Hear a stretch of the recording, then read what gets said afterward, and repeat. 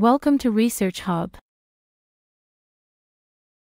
A t-test is the final statistical measure for determining differences between two means that may or may not be related. The testing uses randomly selected samples from the two categories or groups. It is a statistical method in which samples are chosen randomly, there is no perfect normal distribution. A t-test is a statistical test that is used to compare the means of two groups. It is often used in hypothesis testing to determine whether a process or treatment actually has an effect on the population of interest, or whether two groups are different from one another. Okay, when to use a t-test? A t-test can only be used when comparing the means of two groups, aka pairwise comparison. If you want to compare more than two groups, or if you want to do multiple pairwise comparisons, use an ANOVA test or a post hoc test. The t-test is a parametric test of difference, meaning that it makes the same assumptions about your data as other parametric tests. The t-test assumes your data 1 are independent, 2 are, approximately, normally distributed. 3. Have a similar amount of variance within each group being compared, aka homogeneity of variance. Types of t-test 1. One-sample t-test The one-sample t-test is a statistical method that helps determine if the mean of a single sample is significantly different from a known or supposed population mean. It is valuable for working with small sample sizes and normally distributed data. The test allows researchers and analysts to draw meaningful conclusions from limited data, the one-sample t-test involves calculating the t-statistic by taking the mean of the sample, subtracting the assumed population mean, and then dividing by the standard error of the mean. It is widely used in research across several domains to examine if a sample is representative of a larger population.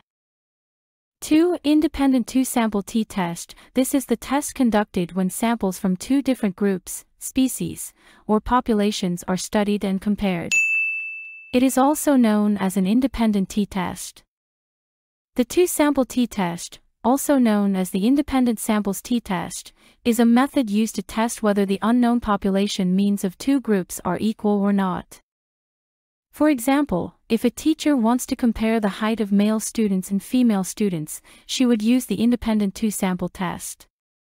The t-test formula used to calculate this is the need to compare the means of height between two independent group, male and female. Independent samples t-test could be performed. This hypothesis testing is conducted when two groups belong to the same population or group. The groups are studied either at two different times or under two varied conditions. The paired samples t-test is a statistical test used to determine if two paired groups are significantly different from each other on your variable of interest. Your variable of interest should be continuous, be normally distributed. The formula used to obtain the t-value is For equal variance t-test, this test is conducted when the sample size in each group or population is the same or the variance of the two data sets is similar. It is also referred to as pooled t-test. The formula applied. Mean 1 and mean 2 equal average value of each set of samples. Variable 1 and variable 2 equal variance of each set of samples. N1 and N2 equal number of records in each set. 5. Unequal variance t-test. The unequal variance testing is used when the variance and the number of samples in each group are different. It is often referred to as Welch's test, and the formula is mean 1 and mean 2 equals average value of each set of samples.